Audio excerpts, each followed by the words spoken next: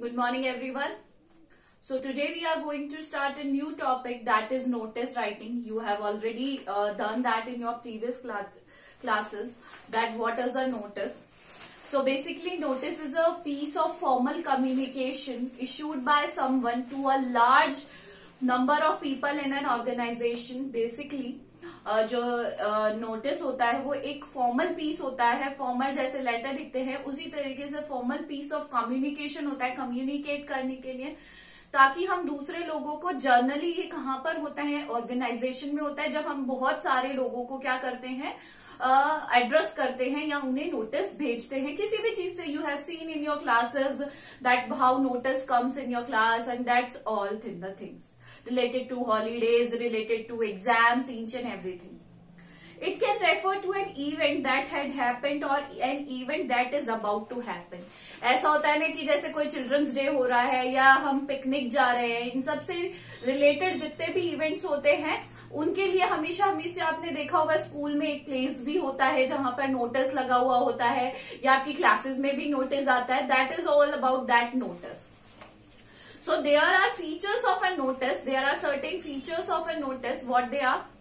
A notice should always enclosed in a box. Notice हमेशा enclosed होना चाहिए box के अंदर. हमेशा किसके अंदर होना चाहिए?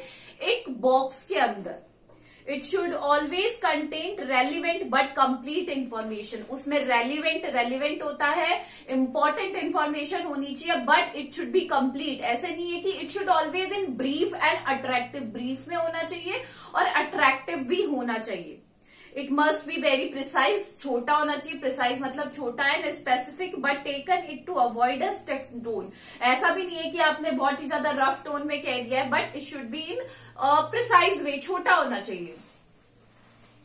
सो फॉर एग्ज़ाम्पल देखिए, आपके यहाँ पे दिया हुआ है। आज हम फ़र्स्ट वाला करते हैं that is you are Siya Verma you have found the geometry box in the school library आपको एक जोमेट्री बॉक्स मिला है स्कूल लाइब्रेरी में। And write a notice mentioning where, when and from whom the box can be collected. अब आपको you are Siya Verma मतलब आपको assume करने के लिए यहाँ पर दे दिया गया है that you are Siya Verma आप सिया वर्मा हो और आपको एक ज्योमेट्री बॉक्स मिला है कहा? स्कूल लाइब्रेरी में कहाँ पर मिला है? स्कूल लाइब्रेरी में। Write and notice mentioning when where and from whom the box can be collected अब हमें ये जानकारी देनी है कि ये सारी चीज़ें जो बॉक्स है वो कहाँ से किसको मिला है और किससे ज़्यादा जाकर कलेक्ट किया जा सकता है। सबसे पहली बात मैंने आपको बताई थी that notice should be in a box form notice किसमें होना चाहिए? एक हमेशा बॉक्स फॉर्म में। Whenever you watch the video what you have to do you have to watch the video first and then do it in your copies now सबसे पहले हम लिखेंगे हमारे स्कूल का नाम। क्या लिखेंगे हम? We will write our school name Rawat public school, Jaipur. First we will write our school name that is Rawat public school. Now we are going to write here notice क्या लिखेंगे हम? Notice notice के just बाद हम लिखेंगे date और right left side of the जो copy वहाँ पर हम लिखेंगे डेट तो date is fifth Jan twenty twenty one date should be here now हमें क्या मिला है? फाउंड क्या मिला है हमें? Yes you have found found आपको मिला है. आपको कोई ज्योमेट्री बॉक्स मिला है तो आप क्या लिखेंगे? फाउंड अगर खो जाता तो क्या लिखते हम यहाँ पर? फाउंड तो लॉस्ट लिखते, यहाँ पर हम क्या लिखते लॉस्ट लिखते, ठीक है? नाउ मैंने आपको कहा है जनरली सबको एड्रेस करते हैं तो कैसे लिखेंगे? Found a geometry box in the school library. क्या मैंने लिखा है आपने फाउंड है ज्योमेट्री बॉक्स मतलब मुझे मिला है ज्योमेट्री बॉक्स कहाँ पर मिला है? स्कूल लाइब्रेरी में। आपने जगह भी बता दी है। आपको प्लेस टाइम और डेट ज़रूर मेंशन करनी है तो हमने प्लेस मेंशन कर दिया है कि कहाँ पर मिला है स्कूल लाइब्रेरी में। अब सबसे पहले हम इसमें डालेंगे कि वो अगर आपको पता है कि इट इज़ जनरली कि हम, वो कैसा दिखता है तो इसमें हम लिखेंगे it is green sorry black in colour आपने क्या लिख दिया यहाँ पे? उसकी एक छोटी सी बेसिक डिटेल थी। It is black in colour वो भी आपने लिख दिया है कि वो कैसा है? ब्लैक इन कलर है।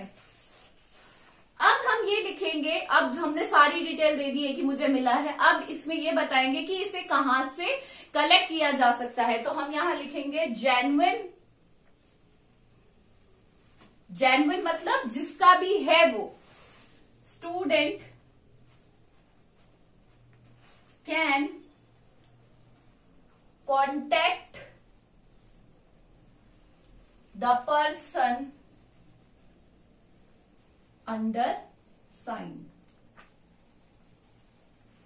genuine student मतलब जिसका भी वो है can contact the person under sign under sign का मतलब होता है, जो नीचे डिटेल्स दी हुई है जिस भी पर्सन की, उससे जाकर आप क्या कर सकते हो? इसे कलेक्ट कर सकते हो। You can collect from the person under sign जिसका भी यहाँ पर नाम है, आप उससे जाकर ये कलेक्ट कर सकते हो।